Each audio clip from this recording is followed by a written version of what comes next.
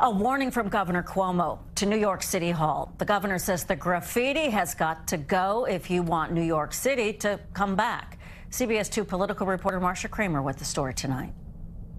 Governor Cuomo has a message for his frenemy Mayor de Blasio, and he didn't spray paint it on Gracie Mansion or any of the other buildings around New York City where graffiti is springing up all too frequently. Get the graffiti off the building.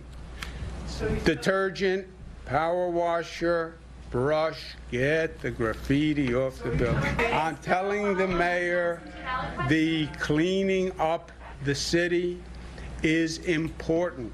You have a lot of negativity in the air now.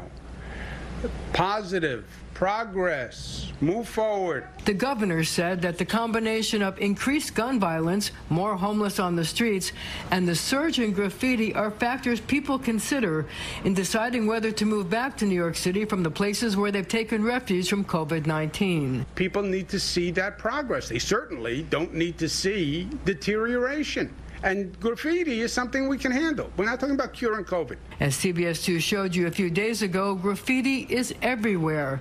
And it comes as the city has zeroed out the budget for graffiti removal and stopped taking 311 graffiti complaints.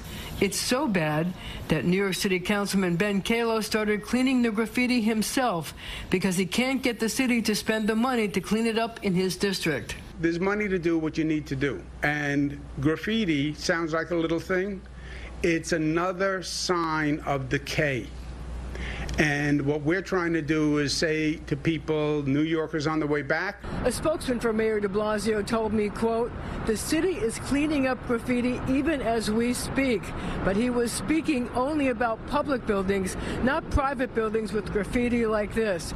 The graffiti that's popping up all over the city, well, there's still no money for that. In Harlem, I'm Marcia Kramer, CBS 2 News.